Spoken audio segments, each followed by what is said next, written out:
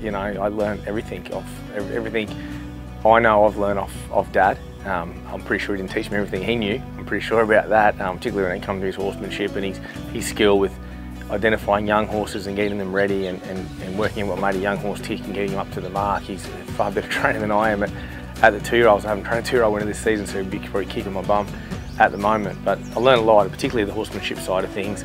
Um, you know, he was a terrific horseman. My father grew up basically on horseback in, um, you know, on, on, the Western Downs at, at Bringalily near Millmerran. And so at a dairy farm there. So he was on horseback his whole life. I learned a lot about the animal through my father.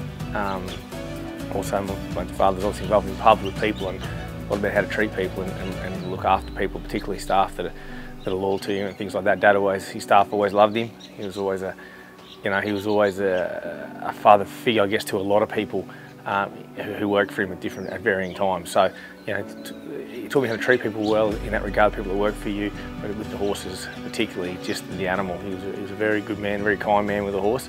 I learnt so much. The Gollan name is synonymous with racing on the Darling Downs, an owner, a trainer and a breeder.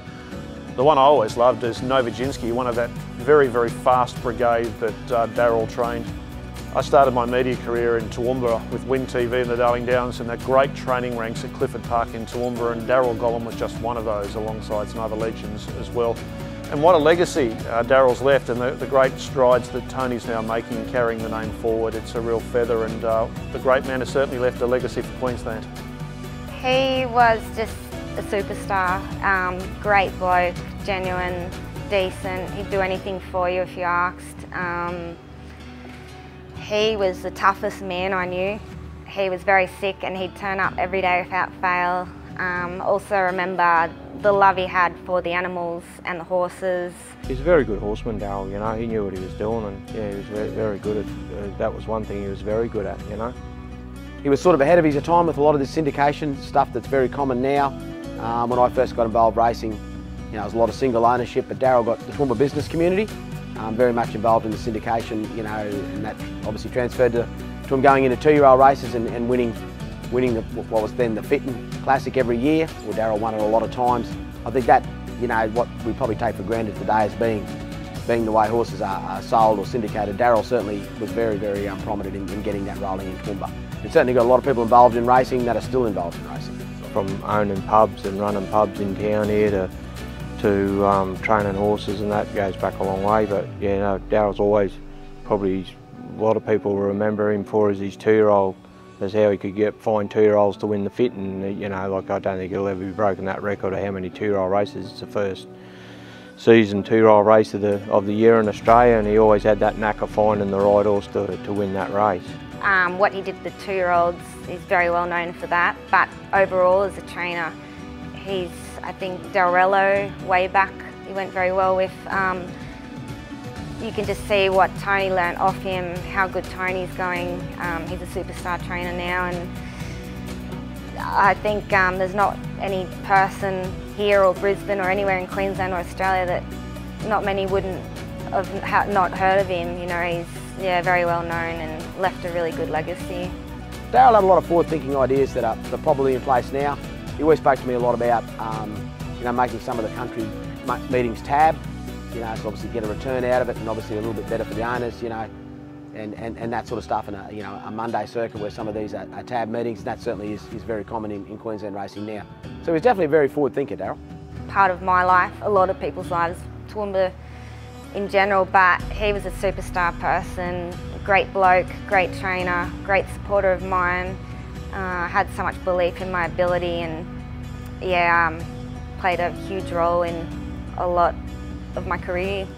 He was certainly very, very ahead of his time and like I said, it's not something, you know, you look back now and a lot of a lot of Darryl's ideas are, you know, what, what we take for, for being normal in racing there, but it certainly wasn't then. Also, he's supportive of female jockeys.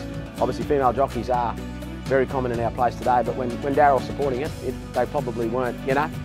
You know, he, he, he worked very hard to get a lot of owners' acceptance of that, of, of having female jockeys and supported, you know, um, Christy Banks and, and Skye Bogan to the end with that and, and certainly was a massive part of their careers. Uh, the club is absolutely thrilled to play host to this very special event.